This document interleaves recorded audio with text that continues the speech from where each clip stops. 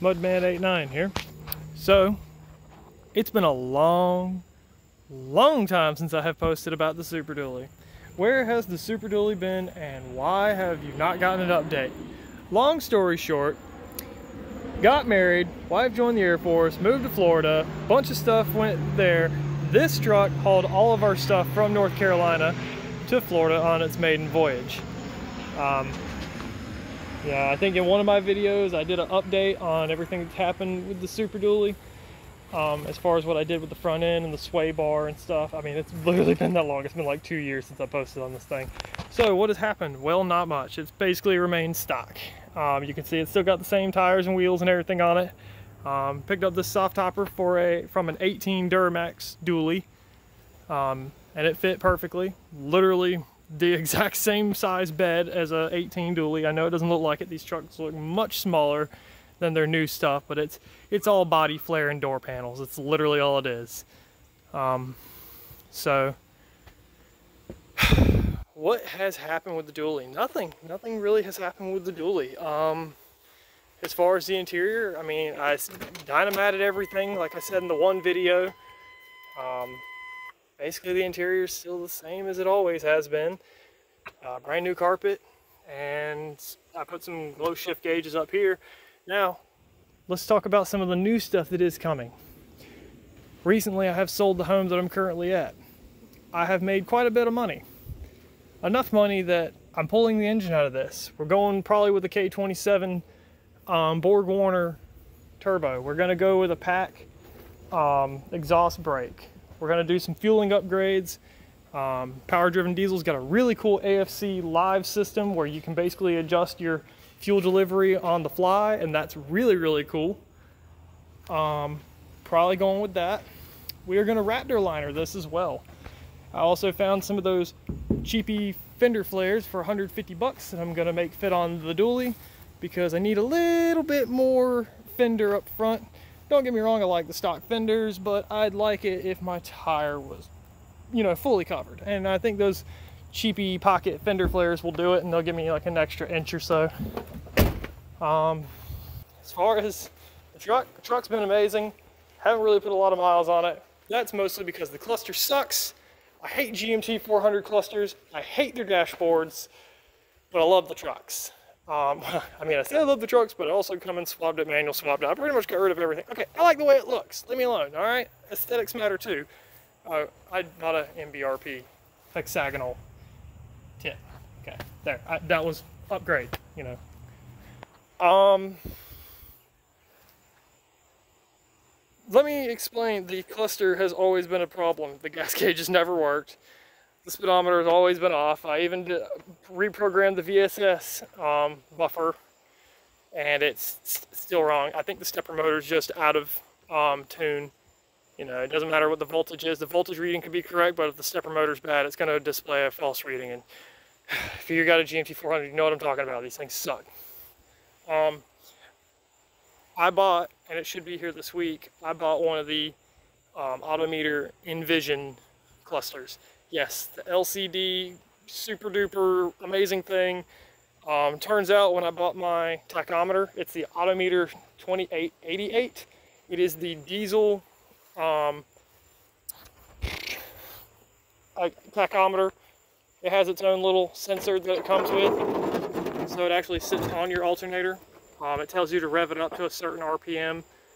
Um, and then it tells you to put something, you can buy one of those little cheap $20 um, laser tachometer reader things off of Amazon. And then you can just scan your um, crank. Once you get to that RPM, you actually turn a, a little dial on the back of the gauge and it will actually set it to where it needs to be. And it's worked perfectly. Like where this truck's supposed to defuel at and where its RPM cutoff um, as far as, you know, like 3,000 RPM roughly is what it, its rev limit is. I mean, it's been pretty accurate. I will say that. Um, idles around 700 RPM, which is right there in line with what it's supposed to be. So no complaints with the Autometer gauge, but Autometer has recently come out with a diesel tachometer um, reader thing. I, basically, it's everything that the gauge is without the gauge. and you can use whatever gauge you want. So I ordered one of those, so I should be able to use this new InVision LCD display and everything should work. Also, the next upgrade we're gonna do is gonna be the Halo 9 nine inch Alpine display.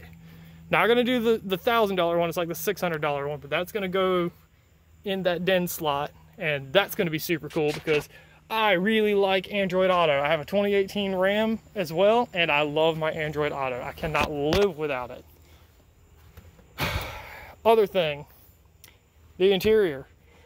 All these seats are coming out, center seats coming out. I'm going with LTZ um, seats out of a 2018 Silverado or GMC Sierra, doesn't really matter. Front and rear, we're gonna have heated and cooled front seats, and we're gonna have um, heated rear seats, which I believe they had heated rear seats.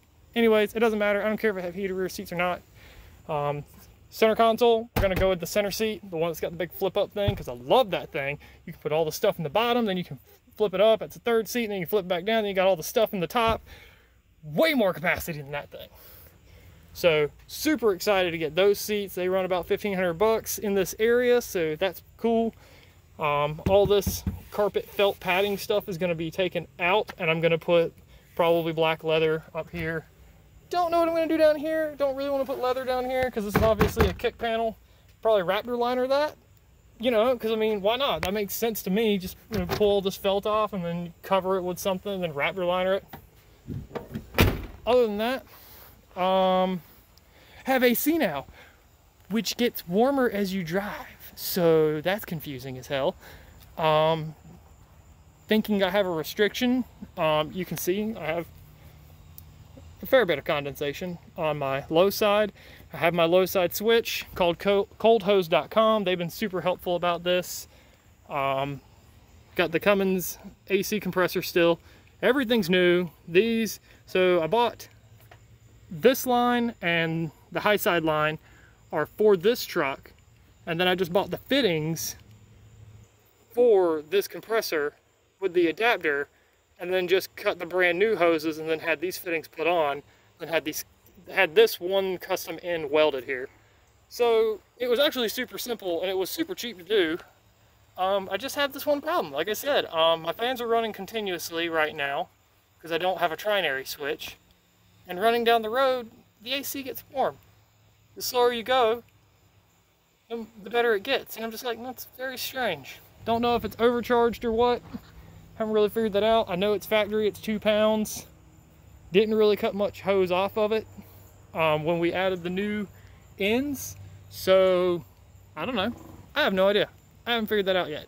Um, but, I mean, this engine has just been amazing. This has been the best swap just ever. This truck has just been great. It rides smoother and nicer than my 2018 Ram.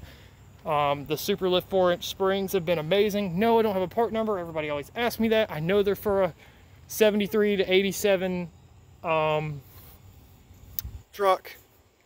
Um, they're from Superlift and they're 4 inches. That's what I know. I know they're made for the 454, so they, are also diesel compatible as far as that goes because they're kind of the same weight. It's like 100 pounds difference.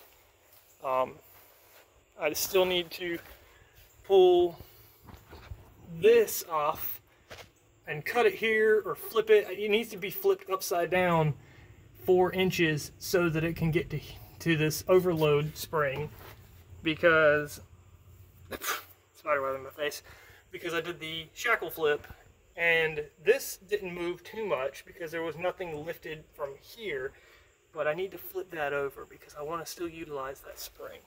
Probably get airbags later, not super worried about that. I really want the Pacbrake because this thing is an absolute dump truck to try and stop. Um, oh, there is one more upgrade.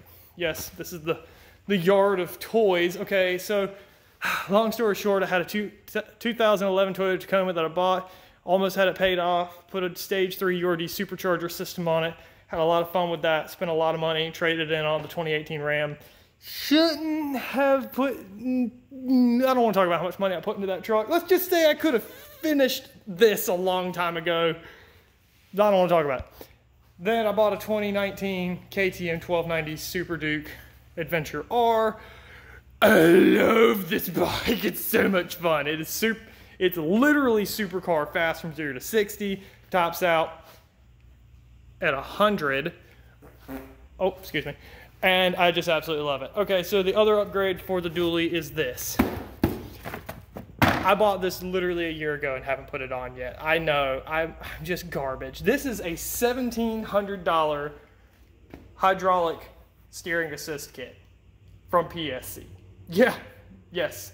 It is the, the big steering gearbox. It's the high volume pump from them with the remote reservoir, the RAM, everything. I mean, it's even got the Heim joints. I mean, it's literally just an amazing kit. And I even contacted RuffStuff and got the offset tie rods because I'm having problems with my gigantic drag link, or not drag link, I'm sorry.